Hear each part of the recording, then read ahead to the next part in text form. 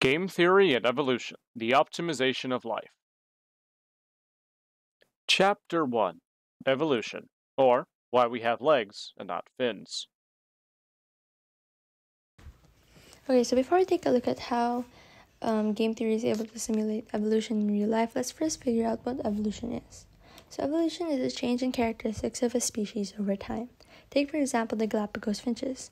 They were originally from the same species, but because of separation due to geographical boundaries, um, some began to grow short and strong beaks, whereas others slim and slender ones in response to their environment. So, this is an example of evolution in action. Um, evolution, the idea of evolution first began with Jean Baptiste Lamarck in the 19th century with his theory of the transmutation of species and theory of inheritance of acquired characteristics. So, in this, he argued that the reason we saw changes in the appearances of species over time was because organisms could pass down physical traits that they acquired through overuse to their offspring. However, Charles Darwin um, disproved this theory later on with his publication of The Origin of Species by Means of Natural Selection in 1859. In this, he stated that all species arose and developed through the natural selection of inherited variation that increased that organism's ability to survive. So, unlike Lamarck, who believed in acquired characteristics, Darwin argued there was changes in the genetic makeup that was passed down from offspring, uh, from parent to offspring. So now let's take a look at the mechanics of evolution. So there wouldn't be evolution without genetic variation, and genetic variation is caused by mutations. Mutations are random changes in organisms' DNA that give rise to new phenotypes. However, not every mutation leads to evolution. Some cripple the organism, some kill the organism, and some do nothing at all. And mutations are an essential part of evolution because this is what natural selection works and thrives on. So now let's take a look at natural selection. Natural selection is essentially the process in which evolution uses to make a new species. So natural selection first begins by a struggle for existence. There must be a selective pressure, uh, which include but are not limited to lack of food, habitat, mates, extreme changes in temperature, weather, or geographical location, as well as biological factors such as predators and pathogens that limit the survival of a certain species. Uh, with this said, uh, COVID 19 is an example of a selective pressure.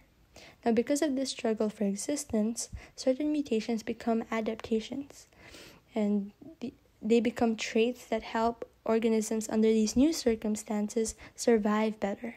And because they can survive better, they can pass down their traits to their offspring.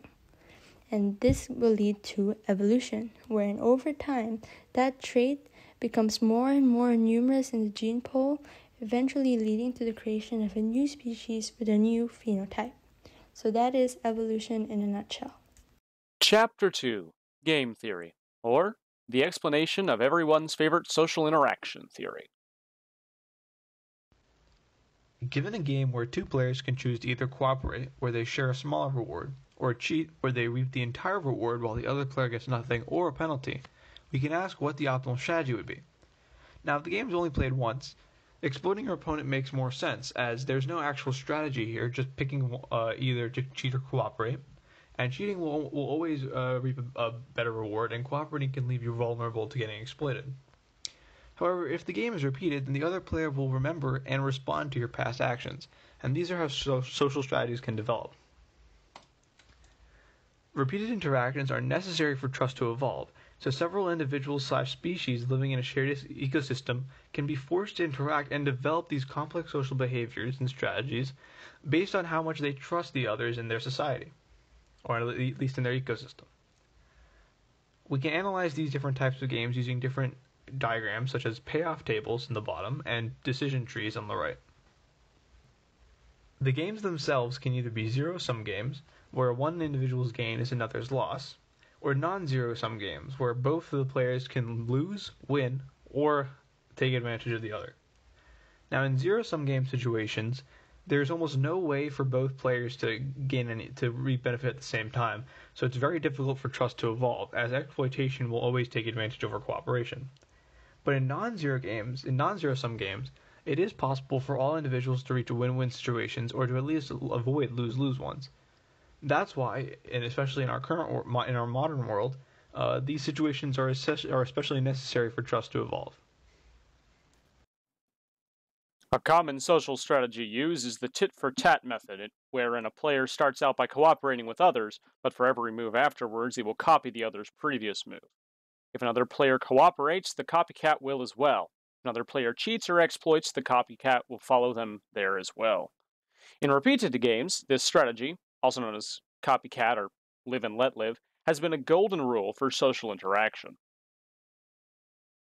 Chapter 3 Game Theory and Evolution, or Where We've Been Going with Our Inane Ramblings. By definition, evolutionary game theory is the application of classical game theory to model Darwinian competition. In evolutionary game theory, the energy spent by the organism is the cost and the resources gained are the benefits.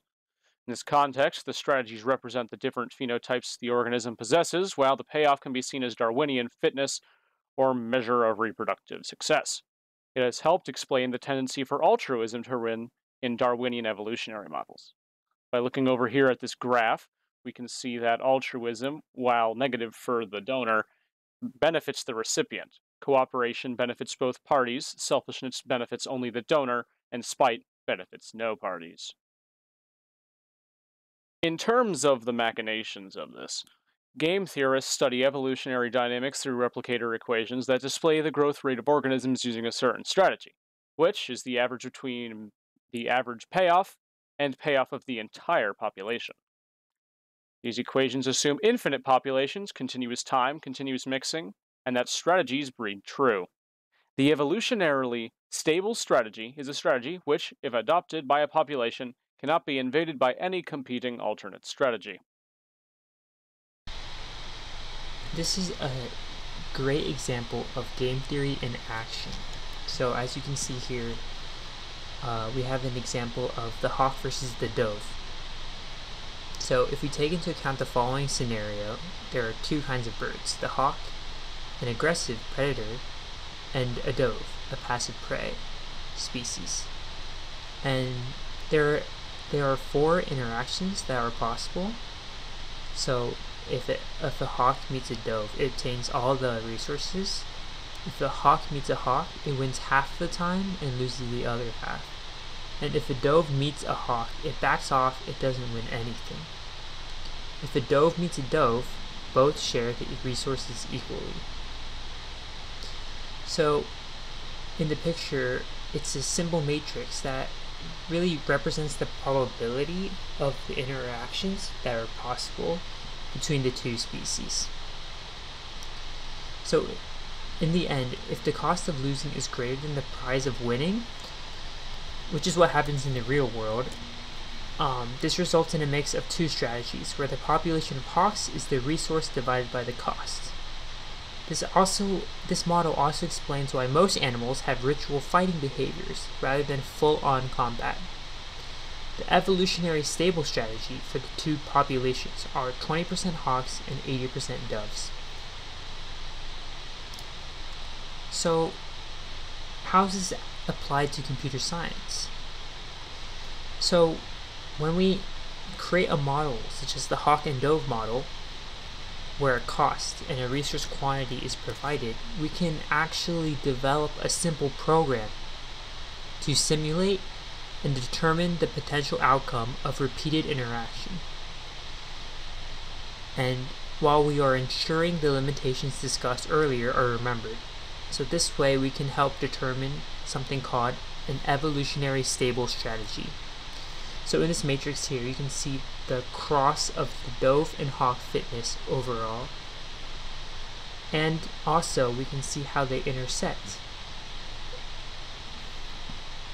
And through this, we can determine the evolutionary stable strategy that we may apply in the real world. So in the end, as the field continues to evolve and change over time, human understanding of evolution and other natural processes can be further supported through the use of mathematical models and computer science based on a risk and reward scenario. And with this understanding, humans can learn how to better preserve the environment and its species from extinction.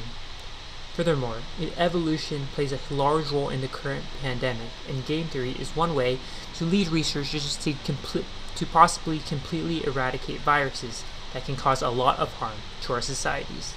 Thank you.